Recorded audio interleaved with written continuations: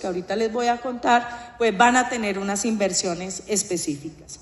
Con un tema muy, muy, muy importante, que es Tolima Centro de Inversión.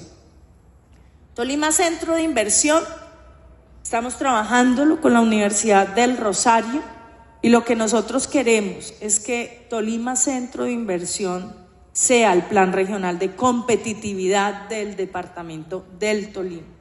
Y esto lo vamos a llevar a la mesa que vamos a tener eh, el, 20, el, 20, el 20 de agosto, a la mesa que vamos a tener dentro de, de la mesa de competitividad.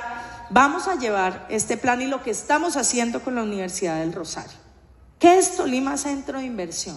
Con Tolima Centro de Inversión lo que hemos querido es precisamente subir esos indicadores que les mostré al inicio de esta gráfica, sobre todo con el sector empresarial.